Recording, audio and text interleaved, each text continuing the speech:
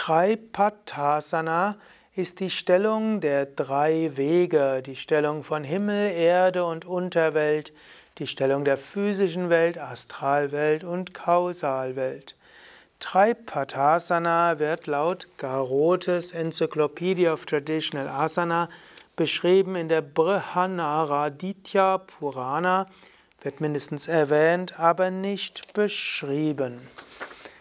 Letztlich mache irgendein Asana und übe das Asana so, dass es auf allen drei Ebenen wirkt.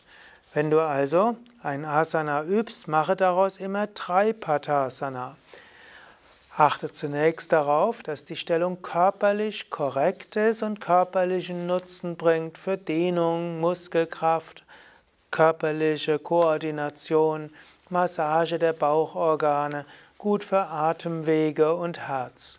Also das ist das erste dieser drei Pata. Als zweites achte darauf, dass die Stellung gut ist für den, die Astralwelt, also dein Astralkörper, die Energien, die Emotionen und die Psyche. Und als drittes, und diesen Teil darf man nicht vergessen, bringe dein Bewusstsein in die spirituellen Ebenen zum Höchsten, zum Unendlichen, zum Ewigen hin.